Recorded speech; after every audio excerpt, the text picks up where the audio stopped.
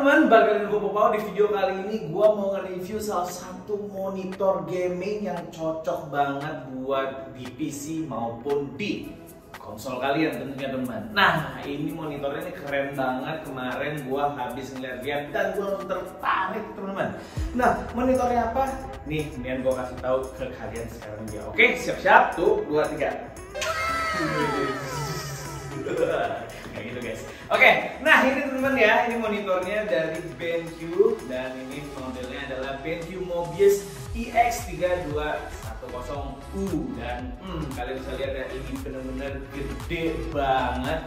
32 inch 4K 144 Hz Wah gila ini paling mantep deh. Dan yang paling gue suka ya ini nih uh, panel kan IPS nih teman-teman ya. Panelnya IPS ini udah pasti cakep banget teman ya. Nah kalau melihat dari dusnya sih benar-benar eksklusif juga teman kalau gue lihat ya. Ini perpaduan warna warnanya kalian bisa lihat ya. Tuh nah ini monitornya nih guys. Ini kalian bisa lihat dari sini ya. Monitornya Mobius ya kan? Ini ada putih terus ininya uh, seperti ini. Dan yang gue suka ya di monitor ini dia tuh nggak keras ya. Jadi benar flat datar. Jadi mantap. Nah seperti apa sih penampakannya? Kalau gitu langsung aja gua buka kali ya. Sambil nanti gua bakal jelaskan nih fitur-fitur apa aja sih yang ada di monitor ini. Dan tentunya gua bakal ngetes juga nanti di PS5 gua. Karena monitor ini nih cocok banget buat kalian semua yang memainkan game-game adventure atau memainkan game-game FPS sekalipun. So langsung aja deh gua buka ya oke teman-teman. Nah ini gua bakal buka ya teman-teman. Kita bakal unboxing. Wah. Nah, kalian bakal mendapatkan buku tunjuk ya seperti biasa dan ini udah ada isi-isinya nih. Ya kayak misalkan ada monitornya tentunya ya kan? Kalau beli monitor pasti ada monitor. Kalau nggak ada monitor beli yang lain. Nah ini terus ada base stand uh, ada uh, standnya terus ada kabel-kabelnya juga. Nah kemudian kita langsung lihat aja deh. Nah ini contohnya ini buat kakinya ya kakinya. Wah ini V bentuknya ya. Gini ya keren banget ya. Ini kayak bumerang nih. Gitu. nah ini terus nah ini kabel nih. Kita lihat kabelnya. Uh, dapat kabel power. Nah ini dapat kabel powernya. Ya kalian bisa lihat seperti ini kabel powernya ya. Nah mungkin ini ntar mungkin kasih colokan kali ya biar uh, gampang ya terus udah ada kabel power nah dapat kabel HDMI Wih, kabel-kabelnya udah lengkap semua nih, enak banget ya. Nah, ada kabel HDMI, uh, Type B, ini HDMI juga. Eh, oh ini DisplayPort, sorry ini DisplayPort, ini HDMI, terus uh, dapat remote temen-temen. Nih, ya keren. Jadi bisa ngatur-ngatur tanpa harus dari monitornya nih. Keren juga nih eh, ada SDRI terus ada gaming mode-nya gitu kan. Wah ini keren sih. Dapat standnya nih tulangnya nih ya. Nah ini dia. Uh cakep ya. Warnanya putih ya teman-teman ya. Belakangnya putih nah seperti ini. Jadi nanti tinggal di gabungnya sama ini. Aja tak. Gini Beuh, gila nih keren banget. Dan ini kokoh ya teman-teman. Ini kokoh banget. Dan wih gue suka nih. Ada aksen orange-nya juga di sini teman-teman. Beuh, cakep. Nah ini udah sebenarnya paketannya. Dan kita mau lihat langsung monitornya teman kita buka aja yuk langsung monitornya. Seperti apa? Wah wih gokil cuy. Ini dia guys. Monitornya. Ah. Net net net net net wih wih oh cakep. Ini lihat guys sini guys sini. Guys lihat lihat. Lihat tiga dua satu. Darah wih. Ih, gila ini bagus banget ya. Ini warna putihnya terus juga ini keren banget sih Mobiusnya. Beh cakep. Terus ini benar-benar ini premium sekali. Ya kalian bisa lihat ya. Tuh cakep banget guys. Terus terus nih nih Superior Sound by Trevolo. Beuh, ini speakernya pasti mantep sih. Ini bakal gue pasang dulu. Kalau biasanya kalau gue unboxing monitor ini pas lagi kayak gini ya jangan kalian ambil dulu nih teman-teman. Monitornya tapi lo taruh beginiannya dulu. Nih beginiannya dulu nih lo taruh nih. Nah seperti ini masukin dulu. Set. Nah pastiin ini udah kencang ya Di sini ada ada pencetannya nih benar-benar enak banget di sini. Ini pencetan. Jadi ini oke, ini udah pas ya. Terus biasakan pasang ininya juga. Jadi jangan kalian angkat dulu tuh monitornya kayak gini. Nah, terus dikencengin bagian sini. Kencengin, set. Nah, habis itu baru deh kita akan tarik monitornya, oke? Nah, pastiin hati-hati dan ini dia. Wah. Wih, kita buka ya. 3, 2, 1. Wah gila keren banget ya. Wow. Wah ini cakep sih. Ini cakep banget guys. Wah luar biasa bentuknya. Dan ini teman-teman ya. Ini karena blacker. Jadi tuh bagus gitu loh. Apa ya namanya? Benar-benar simple, elegan, dan duh nggak norak dah keren banget nih keren banget keren banget.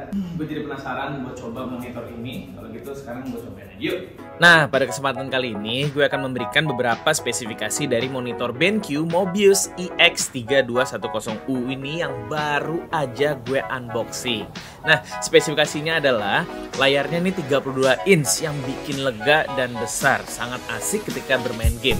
Nah, panel yang dipakai ini adalah panel IPS 4K Ultra HD dengan refresh rate 144 Hz, 4K 144 Hz. Gila. Layar ini juga udah support HDRI dan juga suaranya dilengkapi dengan True Sound Audio by 2.1 channel speaker. Plus ada subwoofernya dari Trevolo. Nah, dilengkapi juga dengan AMD FreeSync Premium Pro dan juga ada eye care fitur yang bikin mata tuh adem ketika kalian memainkan game lama di monitor ini dan juga udah memakai quantum dot teknologi yang bikin grafis semakin tajam dan jernih banget. Yang gue suka nih, monitor ini juga memberikan kita kabel manajemen yang baik. Di belakang itu ada penutupnya, ditambah juga warna monitornya ini putih matte dan memberikan tuh kesan elegan yang sangat mantep banget. Nah teman-teman, kalian udah lihat kan gimana bagusnya model dari BenQ Mobius EX3210U yang di mana ini benar cakep banget. Bisa lihat tadi belakangnya putih matte terus juga ada speakernya gede teman. Di depan juga udah ada speaker gitu. Di monitor ini juga ada mikrofon ya teman. Keren banget ya kan? Jadi pokoknya aku mau cobain deh semuanya teman ya. Kalau gitu langsung aja gue bakal cobain ini. Untuk pertama kalinya gue pakai konsol gue yaitu PlayStation 5 dan nantinya gue bakal cobain juga di komputer gue so let's go guys. Nih, dalam percobaan pertama ini gue memainkan game Spider-Man Miles Morales di PS5 dan bener aja guys ya. Ini monitor sih nggak ngerti lagi gue. Tajem banget grafisnya dan aduh warnanya itu loh. Bener-bener cakep temen-temen Gak lebay karena udah ada HDRI yang wah jadi itu warnanya tuh cakep gitu temen ya. Dan juga yang terpenting nih smooth banget. Yes, smooth banget. Gue nggak ngerti lagi. Percobaan kedua gue coba main FIFA dan lo mesti denger ini suaranya.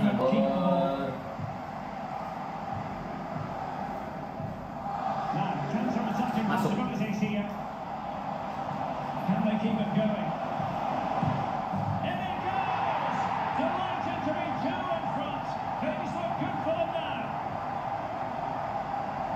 Gimana nih? Ngaco kan? Ini speaker loh ada di monitor gue nggak pernah tuh nemu monitor yang speakernya tuh sebagus ini gitu. Ada subwoofernya lagi kan. Pokoknya cakep banget ya. dan yang terakhir gue coba ini Last of Us dan kalian bisa lihat sendiri ini scene-nya Joel jalan pakai kuda plus sunset terbaik banget di monitor ini. Warnanya tuh pas, nggak lebay dan iya memang karena emang ini monitor tuh udah dilengkapi dengan color gamut yang 99% Adobe Certified tuh jadi udah kayak cakep aja gitu aman banget, enak banget dipandang dan udah lupa waktu dah pokoknya. Pokoknya ini udah akurat nah, banget. Nah, tadi udah coba SD monitor gaming BenQ Mobius EX3210U yang di mana benar-benar oh, gila keren banget temen ya. Pertama nih pas gue cobain pakai PS gue itu gue main game Spider-Man main game FIFA terus main game Last of Us ya.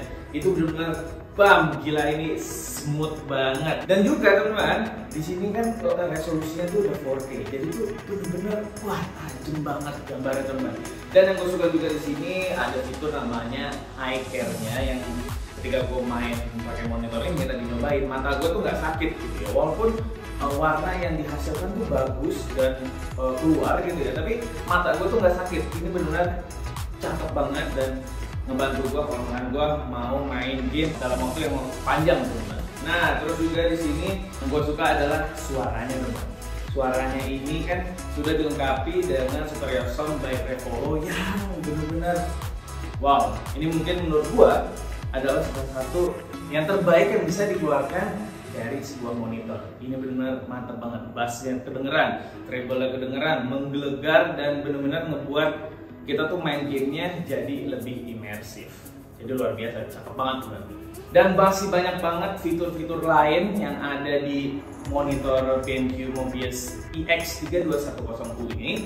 Dan nantinya gue bakal cobain langsung di live streaming. Jadi kalian bisa pantengin live streaming gue nanti gue bakal mainin game adventure atau game RPG open world ya. Jadi ini tuh bukan cuma buat uh, apa namanya kompetitif doang tapi ini cocok banget buat mainin game-game yang adventure atau open world atau RPG sekalipun Nah, nanti gue bakal streaming channel gue jadi kalian pastiin stay tune ya.